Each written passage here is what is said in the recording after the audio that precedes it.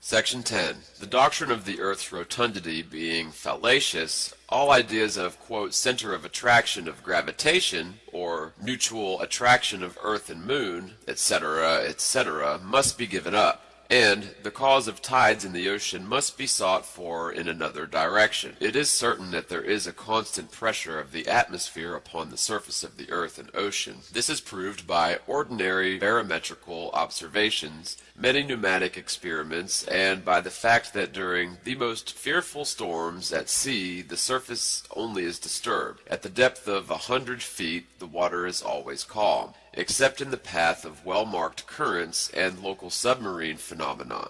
The following quotations gathered from casual reading fully corroborate this statement. Quote, it is amazing how superficial is the most terrible tempest. Divers assure us that the greatest storm's calmer water is found at the depths of 90 feet. Chambers Journal, number 100, page 379. Quote, this motion of the surface of the sea is not perceptible to a great depth.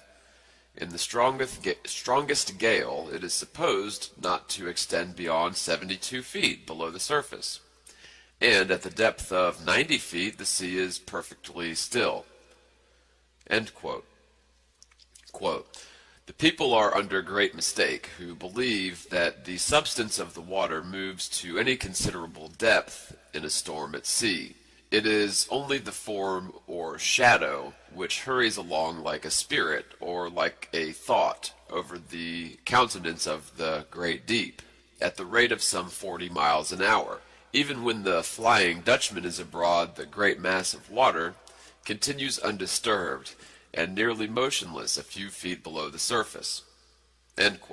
The unabraded appearance of the shells brought up from great depths, and the almost total absence of the mixture of any detritus form of the sea or foreign matter suggest most forcibly the idea of a perfect repose at the bottom of the deep sea.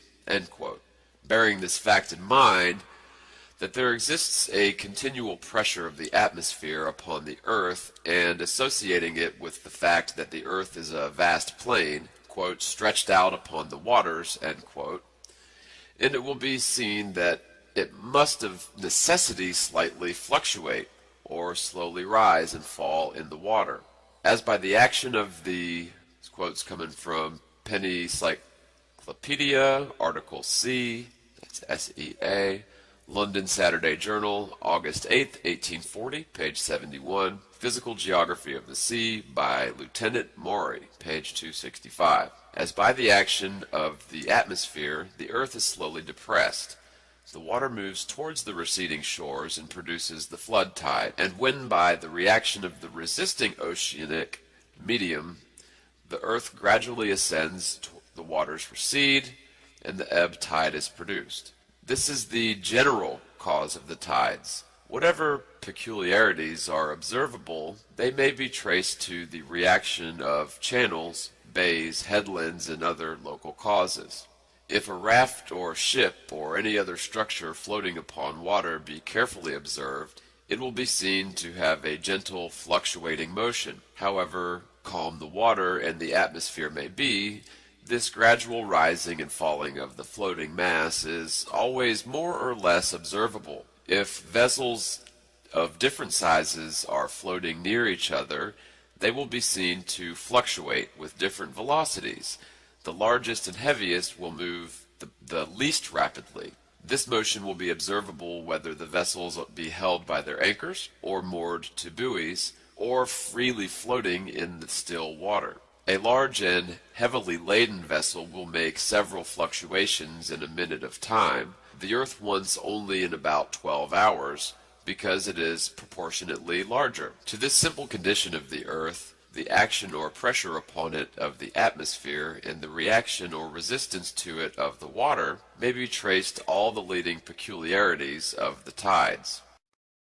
The simultaneous ebb and flow upon the meridians 180 degrees apart the absence of high and low water in large inland seas and lakes, which being contained within and fluctuating with the earth cannot therefore show a relative change in the altitude of the surface. The flux and reflux observed in several inland wells and basins, though far from the sea but being connected with it by subterranean passages, necessarily shows a relative difference in the surface levels of the earth and water and the regular ebb and flood of the water in the Great Polar Sea recently discovered by Dr. Kane, although it is separated from the great tidal current of the Atlantic Ocean by deep barriers of ice, as will be seen in the following quotation. Quote, Dr. Kane reported an open sea north of the parallel of 82 degrees. To reach it, his party crossed a barrier of ice 80 or 100 miles abroad. Before gaining this open water, he found the thermometer to show the extreme temperature of negative 60 degrees. Passing this ice-bound region of traveling north, he stood on the shores of an iceless sea extending in an unbroken sheet of water as far as the eye could reach towards the pole. Its waves were dashing on the beach with swell of a boundless ocean. The tides ebbed and flowed in it, and I apprehend that the tidal wave from the Atlantic can no more pass under this icy barrier to be propagated in seas beyond than the vibrations of a musical string can pass with its notes, a fret above which the musician has placed his finger. These tides, therefore, must have been born in that cold sea, having their cradle about the North Pole, and we infer that most, if not all, the unexplored regions about the pole are covered with deep water. For were this unexpected area mostly land or shallow water, it could not give birth to the regular tides.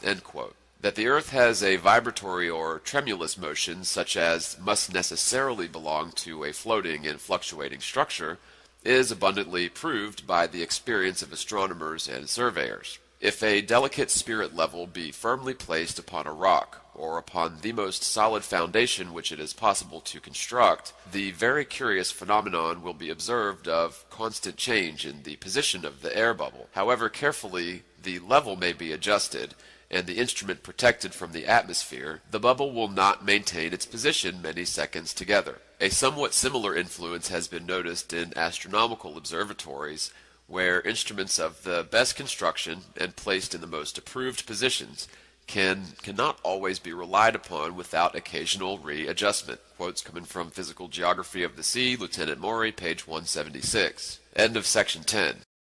Thanks so much for watching. I hope you enjoyed this video presentation. If you did, please subscribe to my YouTube channel, like the video, and share it on your favorite social media sites. There's a lot more to come, so stay tuned and we'll see you back next time.